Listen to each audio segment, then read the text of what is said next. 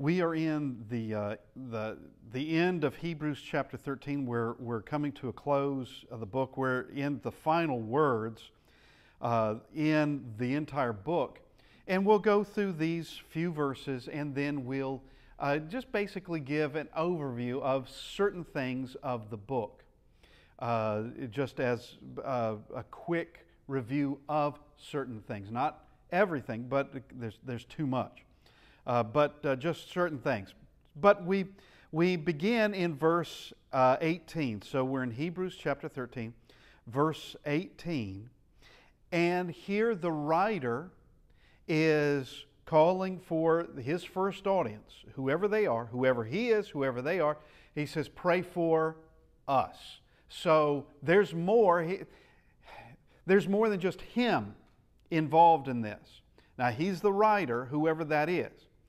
But his audience, once again, whoever they are, we, it's a, got it has to be a congregation somewhere. don't know where. But they know it's more than one person, that whoever the writer is, that there are others with him that they know. But he says, pray for us. And we can, it's not a generic us, as in, you know, people you don't know, just generally speaking, us. Uh, but we'll see that it's more than that. Pray for us, for we are confident that we have a good conscience in all things, desiring to live honorably. All right, we'll get to that in a second. But we see the writer's not alone. All right, and he wants them to pray for him, as we'll see in the next verse, that to be able to see them sooner rather than later. And whoever's writing this also has a reason why he can't be there with them. Uh, and um, uh, but here he uh, he's calling for them. Pray for us. We live in a good. Uh, we have a good conscience. Okay, in all things desiring to live honorably. But I especially urge you to do this. That is, pray for us. I especially urge you to pray for us that I may be restored to you the sooner. He has a history with them, and the author wants to return to them, but it and it, and it may not be too long to wait to begin with, but here is more the sooner. And uh, the reason I, I want to bring out that it, it may not be too long of a wait for him to get there, but he wants to get there sooner. And so, yeah, that would imply, that would imply that, that he wants to get there the sooner, meaning that he could go and see them soon, as in the next few months. I don't know. But he wants to be able to do it sooner, as in the next few weeks. Uh, now, verse 20. Now may the God of peace, who brought up our Lord Jesus from the dead, that great shepherd of the sheep, through the blood of the everlasting covenant, make you complete in every good work to do his will. we'll stop right there. So here are these parting words. These parting words. One, pray for me. Now, this hope that the God of peace, the one who brought up Jesus from the dead, Jesus who is the great shepherd of, of the sheep, the one who has an everlasting covenant through his blood, that he'll make you complete in every good work to do his will. There are things that are to be done, and he is hoping that they will do them. He's already made mention that going back to chapters 5 and 6, that there are things that they ought to be doing that they're not doing. They ought to be teachers by now, but they're not. They ought to have learned more by now, but they haven't. They should have increased in the Word. They should have increased in their learning. They should have increased in their understanding, but they haven't. They are, they are stagnant. They are mired down in something. and he is calling them to it's time to grow. It's time to get going. It's time to move on in this. But he does commend them for the good works that they have done and the good works that they continue to do. So, not everything is bad. But he's telling them that they uh, that Christ would make them complete in every good work to do his will, working in you what is well pleasing in his sight through Jesus Christ, to whom be glory forever and ever. Amen.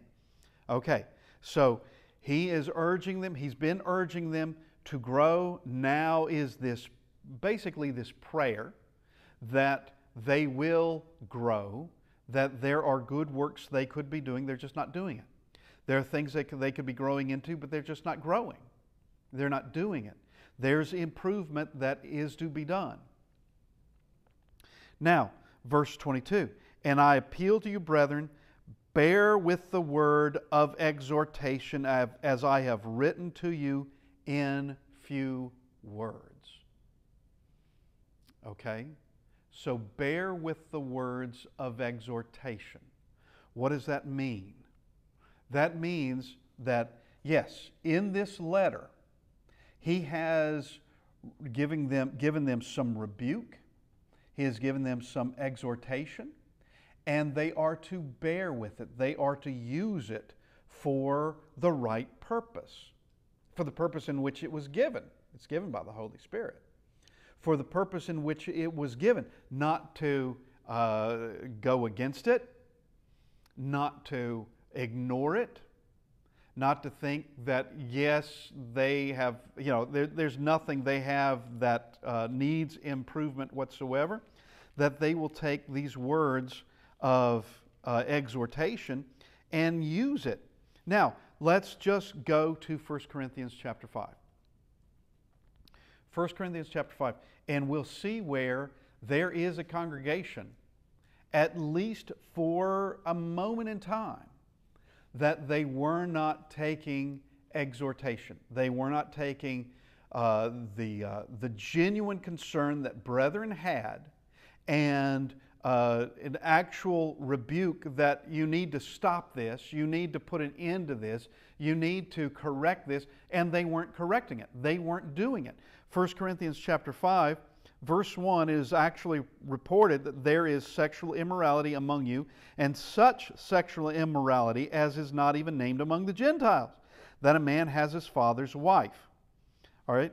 The, the, this is, this is a, a new thing, even for the Corinthians at large. The Corinthian population, who's, you know, uh, they, uh, they were already rather worldly and uh, and ungodly. And here is someone in the church who's exceeded them all. Okay?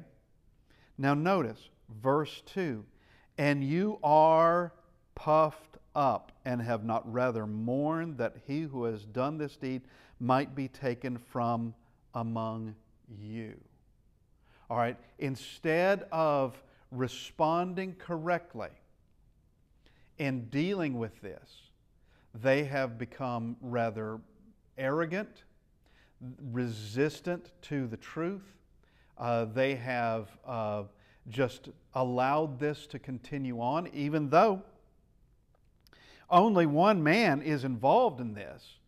You have others that are in the congregation that it, it's a matter of, of their of pride or a matter that, that they're not dealing with.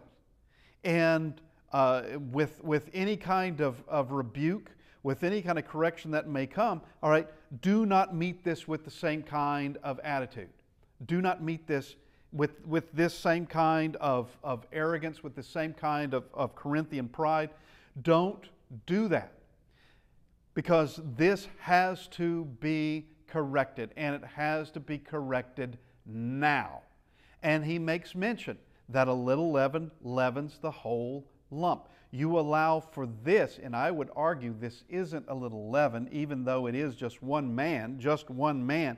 This is not a little leaven. You allow this to occur, then things are going to get worse. It is going to spread. You cannot take flour, put leaven in it, and just some of the, the flour is going to be leavened. It's, it's all going to be leavened. Every bit of it is going to be influenced by the leaven. And so this has to be purged. You've, you've, got to, you've got to purge out that old lump. You've got to purge out that, that dough. You've got to start all over again, or rather, you have to, you have to make the correction. And the correction is this brother in Christ has to repent of this, or you can't have anything to do with him. You can't. And he is uh, uh, speaking to, to them, and some of them are resistant to him. Some of them are, are very much re- resistant to him.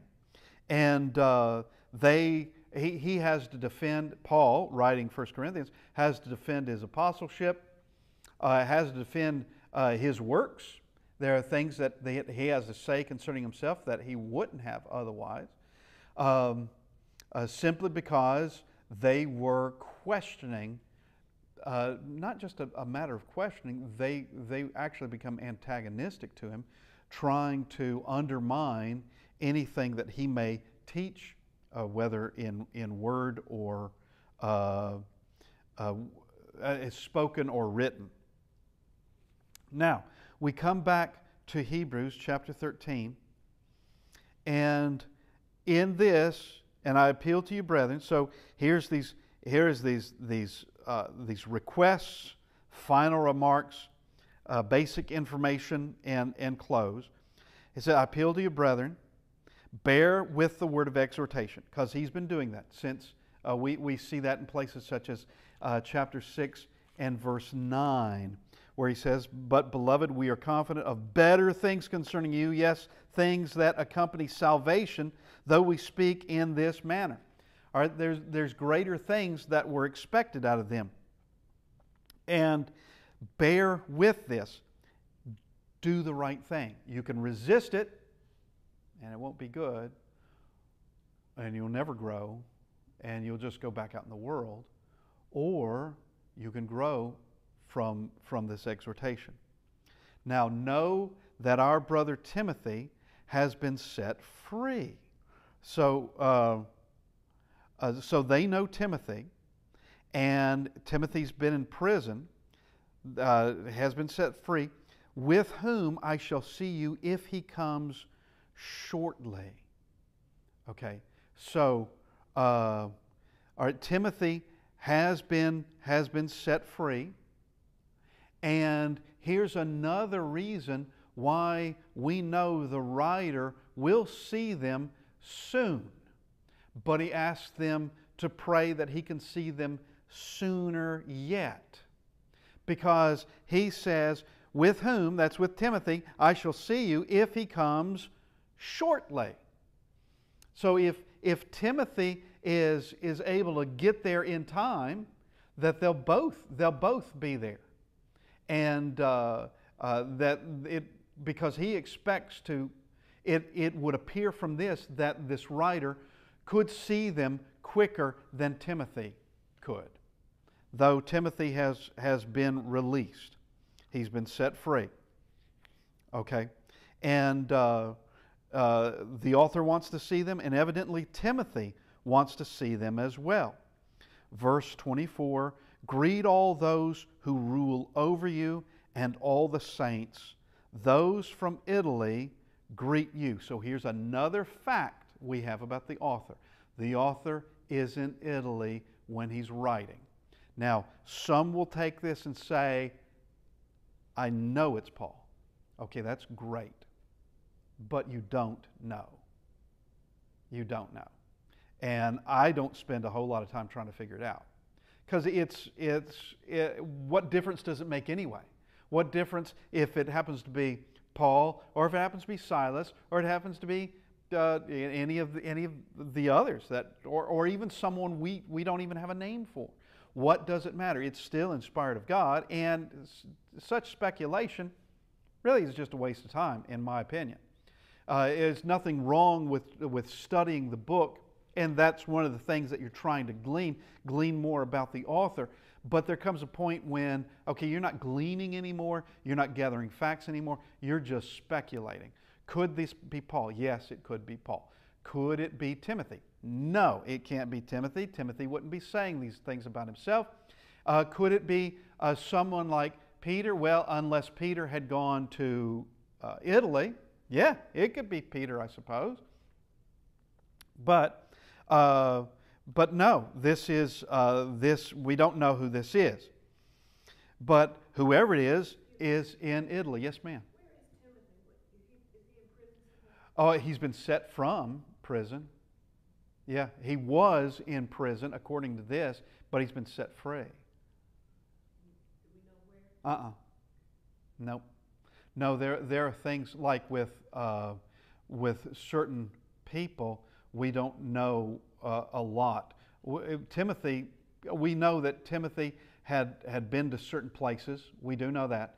But where he uh, was put into prison, we don't know um, at all. Uh, he never was, as far as I know, he never was in prison with Paul. It's neither here nor there. Uh, but, uh, but Timothy, Timothy has been set free.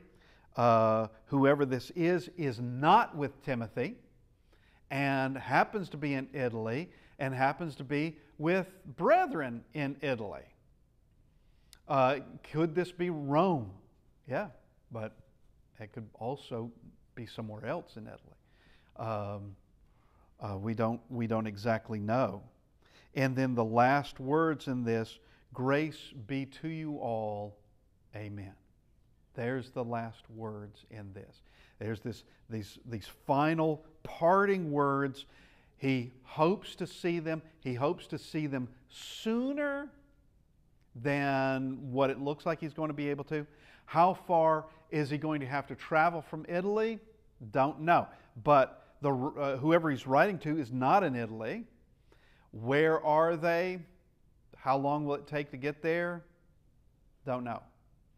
Uh, but uh, it's possible from the text, it's possible that Timothy will uh, see the writer and that the two of them would go on to see whoever this congregation is. That's a, that's a distinct possibility. That's a very distinct possibility. But it's also that uh, the writer knows or has plans on seeing them, and it's in the category of soon, which is, I mean, how soon is soon? It could be months, it could be in, in the ancient day, in, in this ancient world, soon could mean sometime next year. You know, don't know have, have no idea. But he, he planned on being there and knew that Timothy also planned on being there as well. Uh, so these last words grace be with you all. Amen. Closing it out. And with uh, those he's writing to, we don't know any of their names, we don't know where they are, uh, but we can gather, we can gather from all this that they are in a congregation. He, he is writing to a congregation, and that, that they are Jews, and that he too, the writer, is also Jewish. We can gather that. And um, uh, aside from the fact that, as we've made mention weeks ago, that uh, the oldest, oldest uh, texts uh, oldest copies of this book uh, does title the book uh, the book of well Hebrews to the Hebrews. Now, there are some things that I want to talk about concerning the book, and that the book of Hebrews is loaded, loaded, and this is not an exhaustive thing. What I'm about to go through at all, it's not exhaustive, uh, but it's showing several examples of where implication and inference are being used. The author infers what earlier writers implied, and he also shows how someone like Abraham also used inference with what he had been told. that he had been told certain things, and those certain things implied something.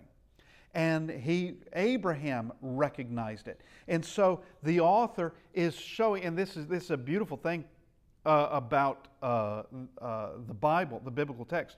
Biblical text teaches the way we learn. We learn by way of direct command, we learn by way of example, good and bad. All right? Learn to, uh, from the good and you imitate that. You learn from the bad and you avoid that. We also learn by way of inference, what's known as necessary inference. Something can uh, be implied by something that was said. Something, uh, let's just say uh, we have a fact. The fact is A, fact A. We know fact A and we have fact B. And those two being a fact means that C must also be a fact. Even though A didn't say it, B didn't say it, for those two to be true, putting them together, we can know that C must also be true. It must be. That's called necessary inference. And we have the old thing of, you know, if, if Jeff is taller than John and John is taller than Bill, we know that Jeff is taller than Bill, though nobody said it. We know that. Because if, if I get my names correct, Jeff is taller than John, John is taller than Bill, therefore we know that Jeff is taller. That's fact A. Fact A, Jeff has got to be talk, taller than Bill. That's, that's necessary inference. How would Bill somehow be taller than Jeff? Well, under all this, he couldn't be. Not logically, he couldn't be. Uh, but let's look at just briefly some of the implications and inferences. Things that were implied in the Old Testament, and the writer is using inference to reason from it. And he's done it numerous times. Numerous times, especially in the beginning of the book. Especially. It's just one after another, after another, after another. Let's just go to Hebrews chapter 1. And we, uh, we just begin in uh, verse 3 who being in the brightness of his glory and the express image of his person, upholding all things by the word of his power, when he had by himself purged our sins, sat down, this talking about Christ, sat down at the right hand of the majesty on high, having become so much better than the angels, as he has by inheritance obtained a more excellent name than they. To, for to which of the angels did he ever say, This is Jehovah speaking, this is from Psalm 2 You are my son, today I've begotten you. All right, the question is to which angel did Jehovah ever say that? To none. So there's an implication here. There's, there's an implication that Jesus must be greater than the angels, which is precisely what he says in this, having become so much better than the angels. And then he goes from there.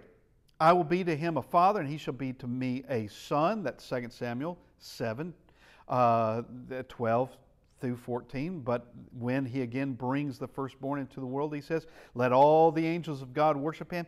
And of the angels, he says, Who makes his angels spirits and his ministers a flame of fire. And he continues on. He continues on in this to show how, from past scripture, how it must be the case that Christ is far greater than the angels. Yes, ma'am.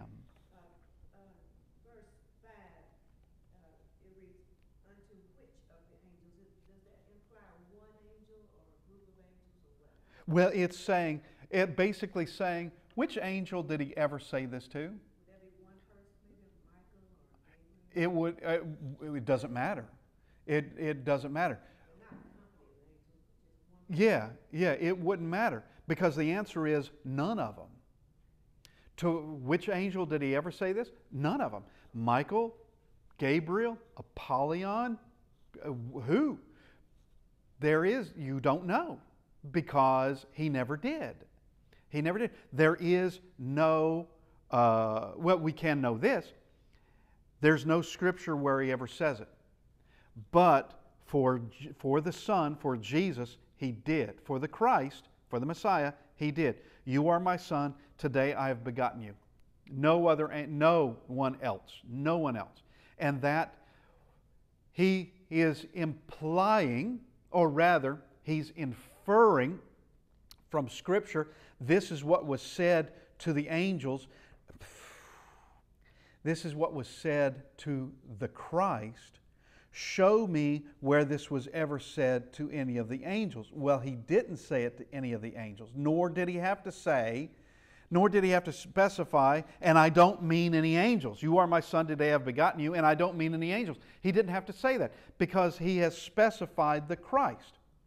So there he is reasoning from the silence of the scriptures. Aside from the he said this to the Christ, did he also say the same thing to the angels? Well, you have no proof of it. It's not there. And that's because he never did. He never did do it. Okay, so here in going from Hebrews 1, verse 1 to chapter 2, verse 4, the writer infers from seven passages, all coming from the Old Testament.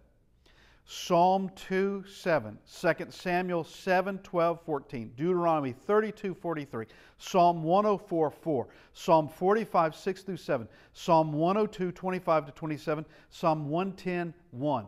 He uses all those. Here is the message that is there, and this is what he infers from it because it is what's known as necessary inference necessary inference of it must be true. If this is true, then I can know these other things must also be true. I know it must also be true. And uh, this is just this long string of uh, one inference to the next and proving a point. Proving point that Christ is greater, Christ is just greater. And, and making that point of here's a scripture, here's a scripture, here's a scripture, here's a scripture, here's a scripture, and reasoning from all that. Reasoning from it. And of course, we know scripture will not contradict itself ever. If, and let's just throw this out, if you ever think that scripture has contradicted itself, it could be that your interpretation of one scripture is off, or it could be you don't know either scripture. One's going to be the fact.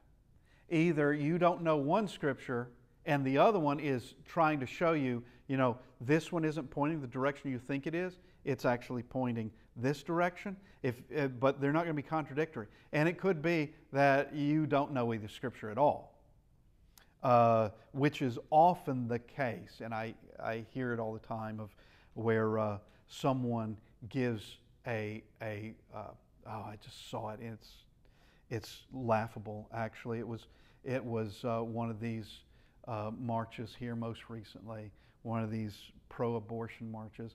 And they, someone always has to show something from the Bible, and they don't know what they're talking about. They absolutely don't. And they're hoping you don't either. Um, and it was just a list of scriptures proving that abortion is okay just a list of scriptures. And yeah, nah, uh, is not working. Okay, you don't know what you're talking about. You have no idea. And honestly, people that corrupt, they don't care. That person, you think that person actually cares about the Bible? No. Uh, okay, what about, what about these other scriptures talking about the value of human life? What about that? What about that one? And what about if there's that particular person is probably all over the place morally. Uh, if you're if you're that corrupt, they're all over the place morally, and and somehow they're going to try to play the the moral high ground by just listing scriptures, and probably knowing that most people won't even look them up. They're not going. Oh, is that really? Is that what it says? Okay, well, I guess this is okay then. Uh, it's ignorance playing off of ignorance, or just deception playing off of ignorance. Now, let's get back to where we are. In Hebrews 4, verses 5 through 9, the writer concludes through Scripture, and this would be uh, Psalm 95. Uh, and the book of Joshua, not just Psalm 95, but also the book of Joshua, that there's a future rest for the righteous. Okay? One could say, well, why did he waste time doing that when we sort of already knew that? But he's using he's using old, very old scriptures, even when this was written, very old scriptures to show this has always been true. This has been true. And he's showing by way of inference that it had to have been implied when these things were written in Psalm 95 and also earlier than that in the book of Joshua. But they both concern uh, that of, of Israel in the wilderness and also coming into the promised land under Joshua. Now, Hebrews chapter 6, 12 and 14, the writer uses inference to conclude Jesus could not be priest under the Old Testament law because he's not of the tribe of Levi, but of Judah. And he is teaching from the silence of the Scriptures. We go to chapter 6, we go to verse 12, that you do not become. Hang on.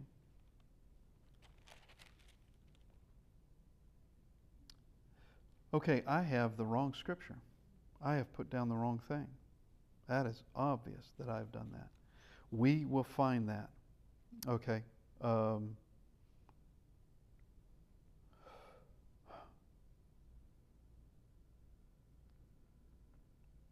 it is, I, I, am, I am off on that. I have put down the wrong chapter. I know I have. Okay.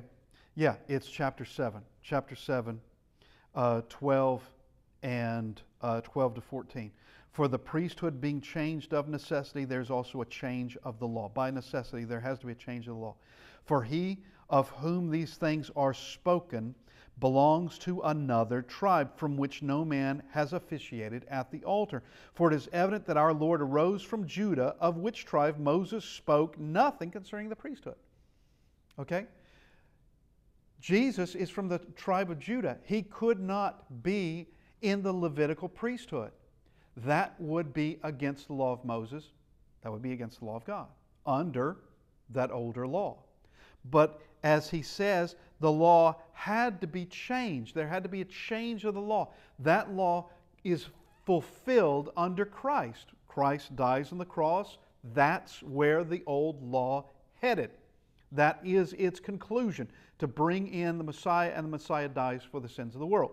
That is it. And also, with his death, it, that Old Testament, Old Covenant, Old Law, being fulfilled, there is a change in the law. Hence, the New Testament, the New Covenant, the perfect law of liberty, the law of Christ. And he says, For he of whom these things are spoken, that would be Jesus, belongs to another tribe for which no man has officiated on the altar. So you, no one of the tribe of Judah has ever officiated at the altar. They haven't done it. For it is evident that our Lord arose from Judah, of which tribe Moses spoke nothing concerning the priesthood. That means silence of the scriptures. When one tribe is specified, Levi, that means all other tribes are excluded. Everything else is excluded. It's Levi. So, how could Jesus be a priest under the old covenant? He couldn't. He couldn't be.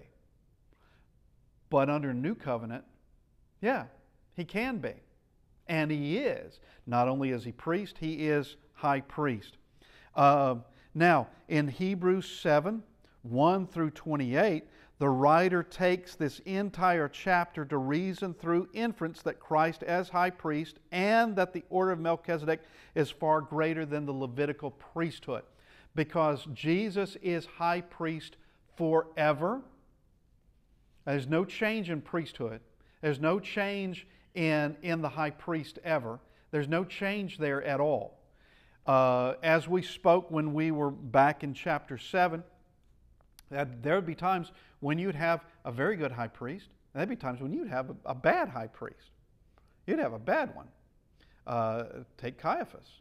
Right? There'd be times when uh, the high priest is not so good. But here we have an eternal high priest who is better, who is perfect. And, and here in all of this, chapter 7, taking that, that whole chapter to teach by way of inference that Jesus is a greater high priest, that the uh, priesthood of the order of Melchizedek is a greater priesthood than Levi ever was. And part of that is showing that of, of uh, who gave tithes to whom. Going back to Genesis chapter 14 with Abram giving, that would be Abraham, giving tithes to Melchizedek, and it wouldn't be for centuries that until you would have a, a well, uh, the tribe of Levi to even become the priesthood. Okay, uh, now uh, the writer tells us that Abraham uses, so here's an example of uh, inference. Here's an example of inference, and this is one of those places where I, I say that the, the Bible is extraordinary because it will, it will uh, imply something, then show later, okay, this is what was implied. This is, this is a conclusion from what was implied by this old passage, such as Psalm 95, such as Psalm 110 and 4, or Psalm 110 and 1, all of which is in the book of Hebrews, showing, all right, this is what was said. Let's look at what that fully means. Let's look at what was implied so we make an inference on that. Now, also in it is not only is the biblical text showing this is what you do with with passages, yeah, you can, you can make implication or inference off of them. But also, here's an example of someone doing it, and they did it right. Hebrews chapter 11, uh, verse 19, is an example of Abraham using inference with what God told him to where he knew, the promises that God told him, to where he knew very well that if he were to kill Isaac as a sacrifice, that God would raise him up from the dead. All right, we spoke of that when we were in Hebrews 11, but notice that we have an example now of someone using the, the reasoning, reasoning from Scripture, and something was implied. And just to to bring that out in case someone didn't wasn't didn't see that or didn't hear that portion of these lessons that God gave Abraham promises that in Isaac in Isaac his seed would be called in from Isaac there would be a great nation all right if you kill Isaac and he's young he's just a boy you kill him and he's just a boy well where goes those promises where are those promises of him becoming a great nation? Eh, if, you, if he's going to die a, a small boy and he has no children, he can't be. Therefore, Abraham, believing God, knew that God telling him, go sacrifice Isaac. Uh, Isaac is to be a burnt sacrifice. He knows that God's going to raise him from the dead. He knows it because he's got, he already has the assurances that God says there is a future for Isaac. And it's got to be beyond that sacrifice. It's got to be beyond that. Because at that point in time, he has no children. So there's faith for you. That is, that's a, an extremely good reason why uh, Abraham is regarded as the father of the faithful. And we are to imitate that faith because he, he could reason from what God told him to know, okay, yeah, I can trust God. I can know this. I can, and, and uh, now, there was one example of inference being used by a righteous man. Now, I just want to go quickly. Speaking of examples, there are examples given in the book of Hebrews, and we're just discussing this as yes, in the book of Hebrews, we can see uh, implication and inference. We can see the use of examples, and we can also see the use of direct commands. Okay, and among the examples, chapter 11 is filled with examples going from Abel, who's the first one discussed, to Samuel, who's the last name mentioned. There are a lot of other deeds. There are other deeds that are mentioned that no name is given to them, and probably it would be a great many people, not just one person by name. Possibly. Uh, we also have in chapter 12, verses 2 and 3, Jesus as an example. An example of his faith, example of him overcoming. Uh, 13, cha- uh, chapter 13, verse 7, saying that uh, imitate those who, who rule over you, saying that uh, whose faith follow. So this would be someone living in their living among them that yeah you follow their faith. There's an example for you to follow. That there are examples given from the, the, the text of to follow, but here are others also living with they're following uh, the same path as these others earlier. They're, they're, uh, they're living faithfully. You, you can see them personally. You follow them. We also have bad examples to avoid. Hebrews 3, verse 7 to 411. It's Psalm 95, and it's Israel in the wilderness. And what God says there in Psalm 95 concerning them. So we're to avoid that. Hebrews 12, 16, and 17. It's Enoch by name, avoiding his example because he's a bad example. We also have direct statements, and it's usually I don't have to tell people concerning direct statements because they, they automatically think the Bible is nothing but direct statements. But just Hebrews 10 24 and 25. Let us consider one another in order to stir up love and good works, not forsaking the assembling of ourselves together, as is the manner of some, but exhorting one another, and so much the more as you see the day approaching.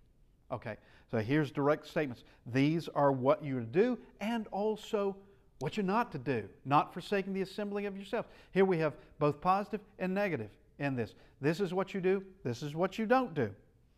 Uh, and we have, we have run out of time. And uh, so I want to thank everybody for being with us in this class. It has been uh, a, really a pleasure to go through this book. And uh, I hope that we can all be strengthened by it, having a greater understanding of it, and there is more to learn. And I'm talking about for myself. As I've said before in this class, every time I read this book, just like any other book in the Bible, every time I read this book, I'll see something and think, now, how did I miss that? How did I miss that? I thought I was thorough. How did I miss that? And then it's I'm always modifying my notes. I'm always modifying things. I'm, I'm seeing, oh, well, here's something else teaching me this, or here's something else that is there blatantly, and I just went, I just rolled right over that. And it just did not occur to me. It happens all the time. And I will say this we're not going to do it, but I will say this. If we were to start in chapter 1 again and do it again, there would be information come out the second go around that was not in the first go around. There would be. It always happens. There, you cannot plumb the depth. You cannot reach the, the bottom of Scripture and say, well, uh, we've exhausted this, we've outgrown this. We won't. Extraordinary book. And uh, uh, next week we'll start on a, another study another book, and uh, the book of James is what we're looking at. And uh, thank you, everybody, for being with us.